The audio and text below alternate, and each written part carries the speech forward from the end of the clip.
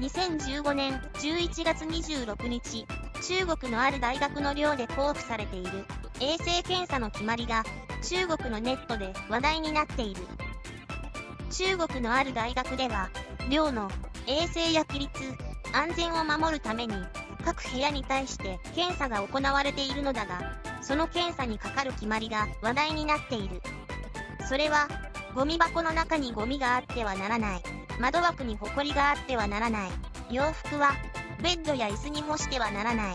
靴は、ベッドの下か、下駄箱にしまうこと。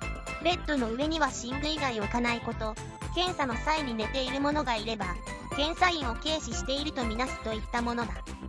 これらの決まりに、学生の55%が反対しており、賛成派はわずか15%だという。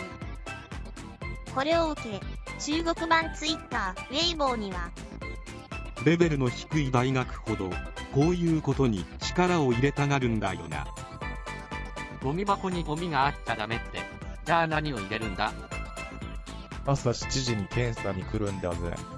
授業もないのに起きないといけないのか。うちの大学の寮は、私たちが授業に行ってる間に勝手に入って検査されるよ。これくらいならまだいい。